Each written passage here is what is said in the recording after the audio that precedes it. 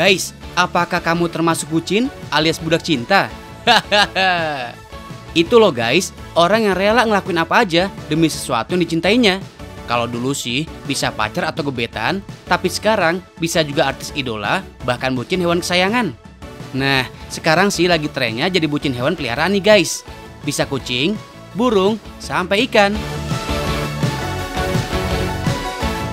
Kalau udah cinta mati, rela deh ngabisin duit puluhan, bahkan ratusan juta buat manjain si satwa. Mulai dari bikin akuarium yang bagus, sampai pakan kualitas terbaik, biar sisik tetap glowing. Kayak Kak Nova nih guys, yang lagi jadi bucinnya ikan arwana, tepatnya red arwana. Tapi saran aja nih guys, jadi bucin juga kudu pinter. Kalau bisa dibisnisin kan, sekali mendayung 230 terlampaui, iya enggak? Kuy, sekalian deh kak, belajar bisnis arwana dari masternya, Mr. Wandi. Hehehe. Hai Nova lagi ngapain? Eh, Pak Wandi, ini Pak, aku lagi coba mancing ikan arwana. Pengen dapat ikan arwana yang super red gitu loh, Pak. Gak usah mancing, di atas sudah saya siapin banyak di akuarium tinggal pilih. Masa sih, Pak? Iya, nanti kita ke atas. Oh gitu? Iya. Boleh, boleh, Pak. Boleh, boleh, boleh. Ya, yuk kita ke atas. Kita sih diajakin lihat indukannya dulu nih. Indukan yang bagus diharapkan bisa menghasilkan anakan kualitas super. No KW-KW yes.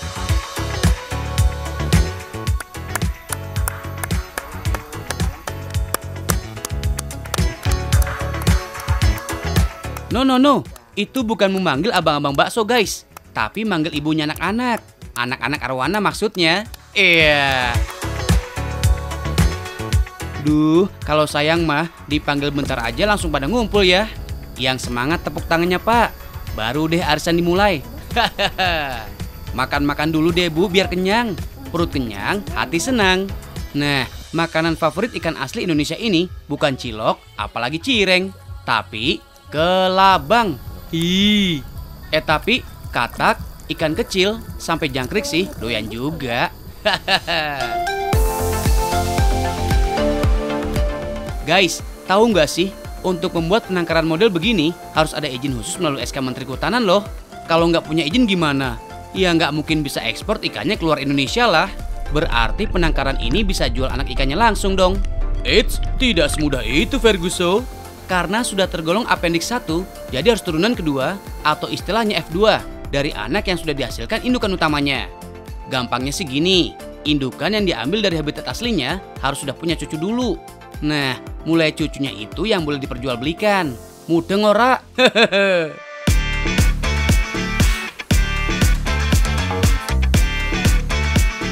Tidak berhenti sampai di situ aja.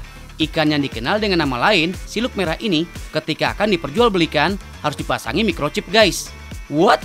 Iya, itu semua buat standar legalitasnya, sekaligus mempermudah pemantauan beredarnya ikan. Sebelum chip dipasang, ikan harus dibius dulu biar nggak ngamuk, jadi lebih mudah dimasangnya. Tempatnya juga nggak sembarangan, harus di sisi kelima bagian punggung ikan dengan kemiringannya 45 derajat. Waduh, ribet amat ya. Wajar dong, secara harganya nanti kalau udah dewasa dan sehat bisa sampai ratusan juta rupiah. Amazing guys, anak sultan sini ngumpul. Besok-besok kalau nemuin ikan yang bisa hidup hingga usia 40 tahun ini nggak ada chipnya, berarti itu arwana KW guys. By the way nih, buat kalian yang kepingin pelihara super red, bisa main-main ke penangkaran Telaga Arwana Cibubur ya, buat pilih-pilih ikannya. Sebenarnya, ada ikan arwana asli Indonesia lain yang banyak diincar pehobi ikan hias.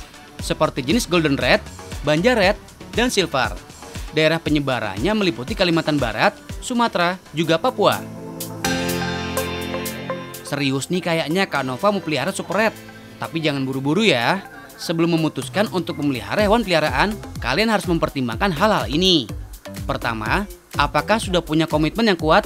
Sebab hewan juga butuh cinta dan perhatian dari pemiliknya. Kedua, kuasai cara merawat peliharaan kalian. Ketiga, apakah waktu dan gaya hidup kita sesuai jika memelihara hewan? Dan yang gak kalah penting nih, apakah dananya ada buat kebutuhan sehari-hari hewan? Seperti makan, perawatan, kesehatan, dan lain sebagainya? Kalau semuanya sudah sanggup dipenuhi, baru deh boleh pilih-pilih hewan yang sesuai dan mulai rawat dengan kasih sayang. Kayak hubungan kita. Iya. Yeah.